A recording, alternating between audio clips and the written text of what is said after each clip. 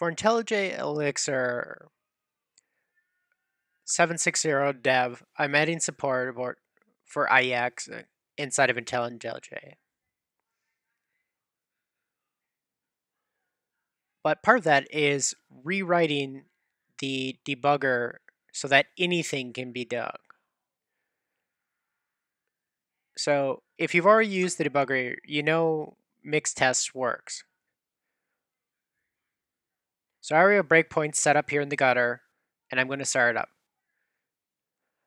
If you ever pay attention to the output here, you'll notice that I'm no longer starting the debugger in the same process. We have an OS process for the debugger and a separate one for the thing being debugged. That helps us a lot with IEX. So you can see the breakpoints working. We can see the Erlang name for all the Elixir variables, just like before. You'll see though that the process automatically gets a unique name. The debug process starts with debugged, then a UUID bound to localhost. Debugger is also running in the background with debugger UUID at the localhost. If I let this run, it jumps between breakpoints as with 750. If I just go to the end, you'll see it does cleanup. And then if I check, there is no beam process. So that's also fixed so we don't leave the debugger process running in the background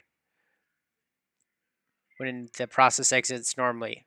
You don't have to explicitly stop to get good cleanup. Moving on to IEX. So if IEX support, I'm adding dash s mix, so I lo load the project files.